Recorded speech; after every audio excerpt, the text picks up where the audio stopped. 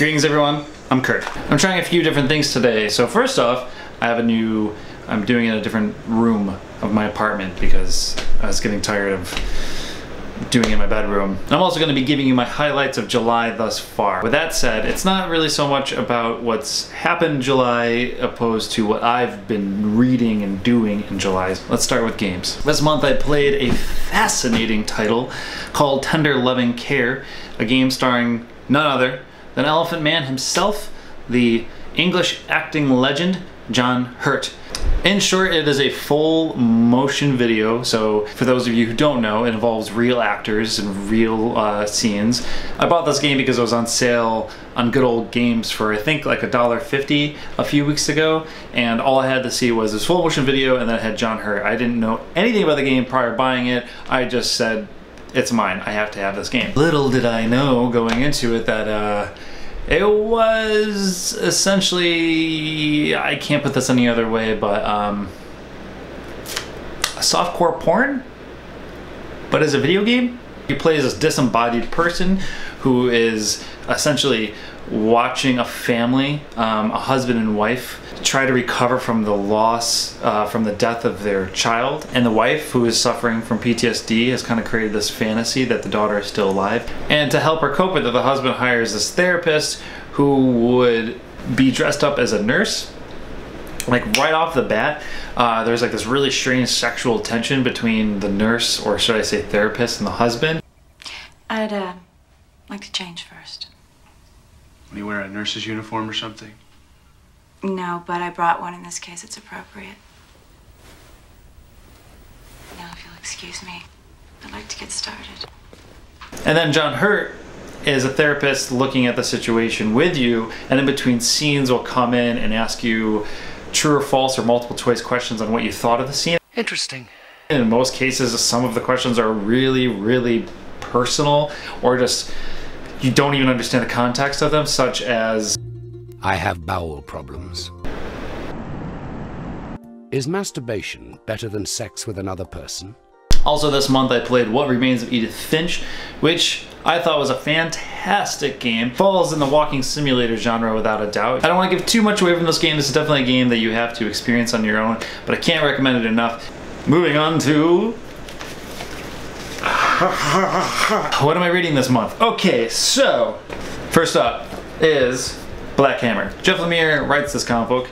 Dean Ormston does the art and Dave Stewart does the coloring. If you guys don't know yet, I love Jeff Lemire. It is silly how much I love him. He can pee on paper and I will buy it. Interesting. Jeff Lemire is doing this amazing thing where he's gauging the stereotypes of kind of golden age comic book characters but adding this emotional weight and depth to them. Arguably this has been done in the past, many times in the past before, especially, especially with writers such as Alan Moore. If anything, I kind of compare Black Hammer to Miracle Man in a sense that Miracle Man kind of takes the tropes, the stereotypes of superheroes, especially Golden Age superheroes, and humanizes them in very dark, twisted ways. But the difference between Alan Moore and Jeff Lemire is Jeff Lemire has a sense of humanity uh, that Alan Moore tends to miss because I think Alan Moore is a pretty cynical dude and that's expressed in his writing.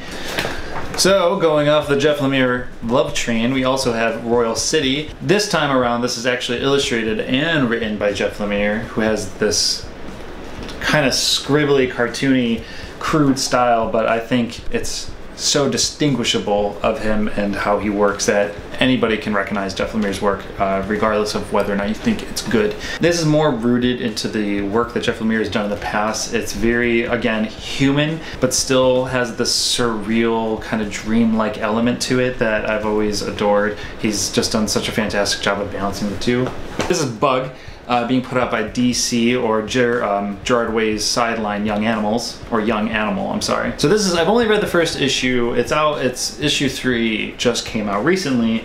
So this comic book's fascinating to me because it's done, written, illustrated, and colored by an entire family. The Allred? Allred? Allred? Anyways, so usually first, usually I'm not sold on a comic in its first issue. I usually have to read maybe about three to four issues in until I can really have a grasp of how I feel about it. But I gotta tell you, opening this page and seeing immediate references to Jack Kirby's New Gods. It's weird, it's bonkers. I don't entirely know what's going on. I'm really excited about it and I want to know where it's going. Also, because it's kind of relevant, it was talked about today, um, I want to talk about the new female Doctor Who for a second. So, I am so excited that Jodie Whittaker is going to be the new Doctor Who for a number of reasons. One, I fucking I love the show Broadchurch, and I think she kills it in Broadchurch. She is incredible. Two, the episode that she's in for Black Mirror, the entire history of you, and she also was great in Attack the Block. I just I think she's awesome, and I'm so excited for a number of reasons that we finally have a female Doctor Who. Of course, like we can't talk about this change without at least mentioning those who are super upset about it. Um, I admit I really have not done my research on those who are upset it, about it and why they're upset about it, but frankly, I don't really care. I'm under the impression that just give me a good show. I don't give a shit who's playing the Doctor. I don't care who they are, what they are, what they look like. Just give me a good performance. Give me a well-written show. Just give me a good show. And hopefully myself and I hope other fans will be happy. That's all that matters. Is just give us a good show. Anyways, I'm gonna leave it at that. I don't want to have this go on too long. I just want to give this a shot. Um, let me know if you guys liked this or if you would have liked to see more or less of something. I'm still trying to work this one out, and this was just kind of an experiment on my end um, to try and create some new content for different people or something. I don't know.